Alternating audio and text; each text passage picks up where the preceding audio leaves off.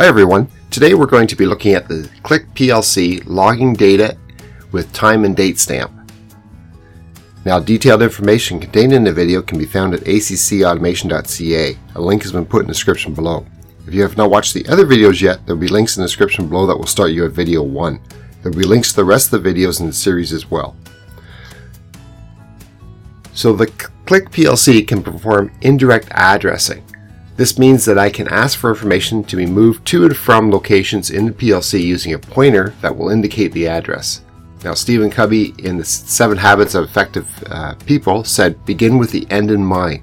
This is especially true when looking at storing or logging data within the programmable logic controller or PLC.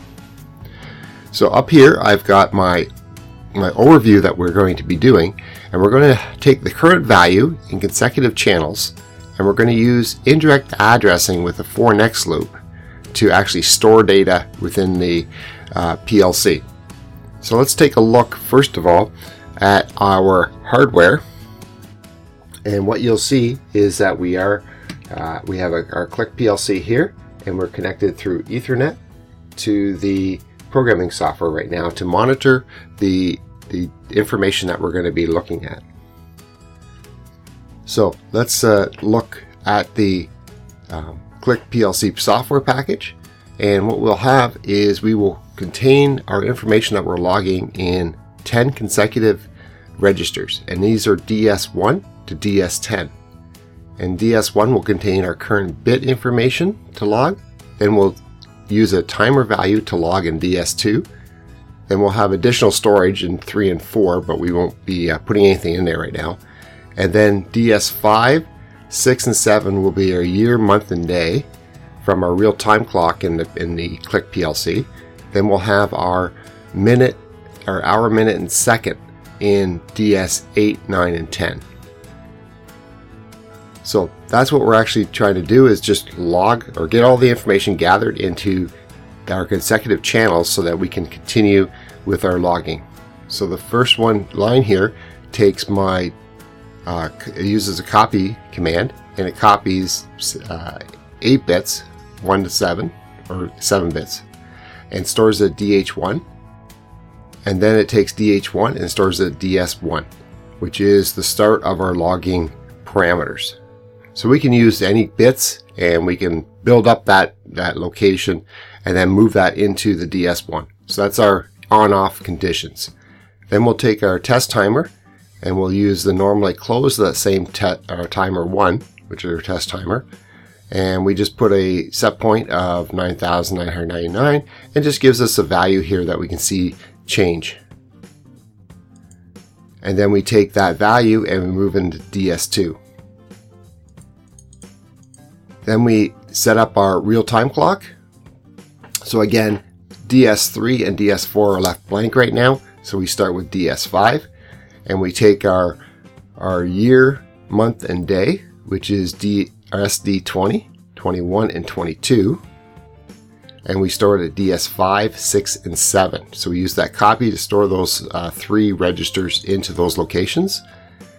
Then at the same time, we take our hour, minute, and second, which is in uh, SD 24, 25, and 26, and store it at DS 8, 9, and 10 to complete our information that we have for our uh, loop that we want to, uh, or the data that we want to uh, take a look at.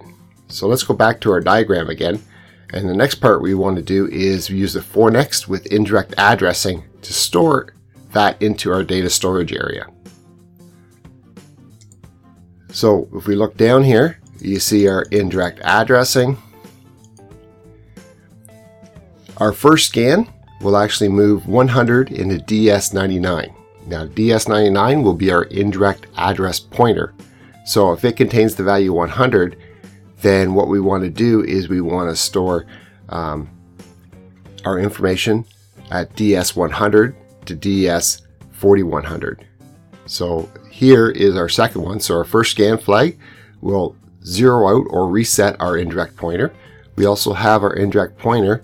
If it's greater than the 4100, meaning DS4100, then we're going to reset our indirect pointer as well. Then what we do is we're going to always do this Okay, we're going to take the indirect pointer and we're going to store it into a temporary location. We're going to call this DS98. And then what we're going to do is put a 1 into DS97. So that's going to start our for next loop. It's going to tell us um, what loop we're on in order to get this data from our, our um, series of data that we put in together, like DS1 to DS10. Then what we'll do is start our for next loop. Now, our for next loop will have 10 representing those 10 registers that we want move into locations. So DS1 to DS10. So the first through, copy through the pass, we're going to copy uh, DS, uh, our pointer 99, which contains DS100. And then we're going to increment our uh, DS97, which can tell, tells us what loop we're on through that loop and then we're going to increment DS99 to 101 and then we're going to do the second pass etc until we get all 10 registers into that memory location that we want to put them in. So let's just take a look now at our copy. So this is we're in a loop and it's going to uh, do this instruction, then this one, this one, then the next. It'll go back to the uh, for loop again. So here we have D, DS, or we're going to copy DS90 or uh, DS.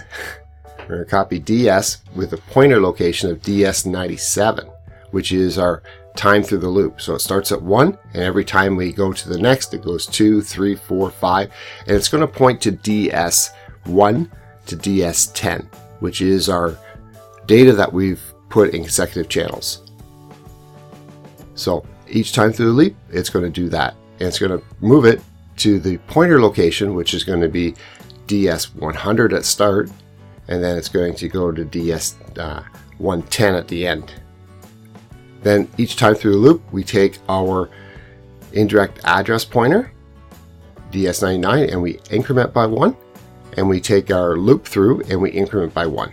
Now what you'll notice is we're currently right now it's showing 100 and it's showing 11. It's because we're it will always show it this within the scan. So it's going to go 10 times through through the scan before it hits the uh, the end of the program and go back to the beginning again. So it's actually executing right now. So let's take a look at our uh, log parameters. And here is, let's move this down a little bit.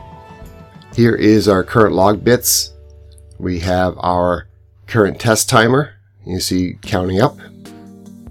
And our additional data, 1, 2. And then we have the year, month, and day. And then we have the hour, minute, and second of the day. And our indirect pointer right now is pointing at 100. And then we have our location that we're actually doing this right now, which is DS100, which is 0. You can see my timer value here is the same as my timer value up here. So as I'm executing this right now, it's actually storing those 10 variables into the registers that I want. And then we have our year, month, day, hour, minute, and we have our second down here, which is matching our second currently. So going back to the program,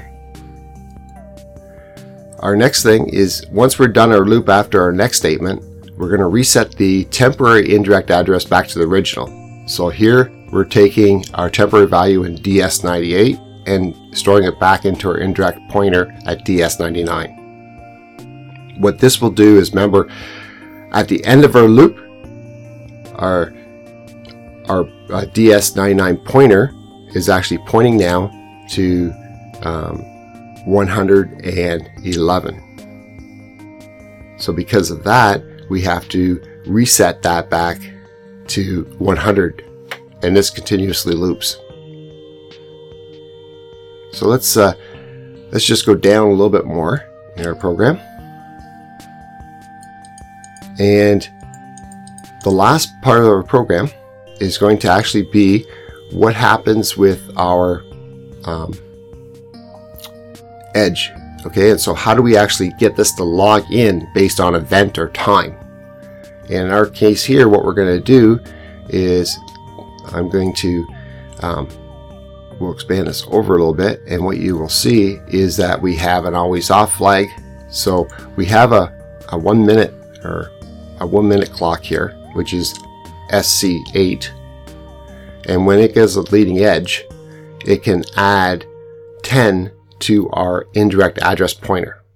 However, what we want to do is we want to control this through this video. So what we're going to do is use our test bit um, C1 and C1 will actually um, allow us now to log to the next 10 locations in our storage.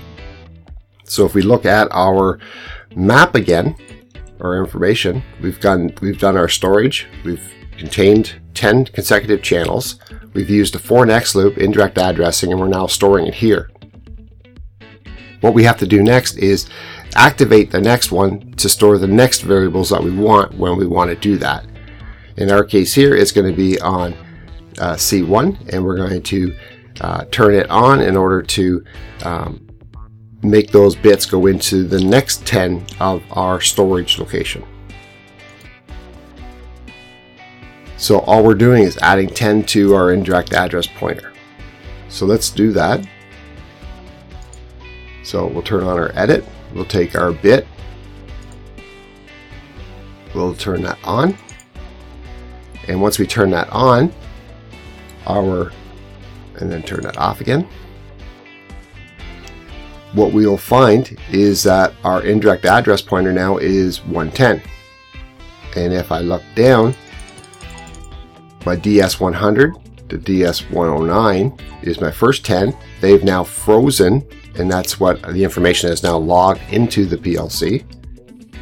And you can see my next from DS10 to DS19, 119, is now being updated with the information.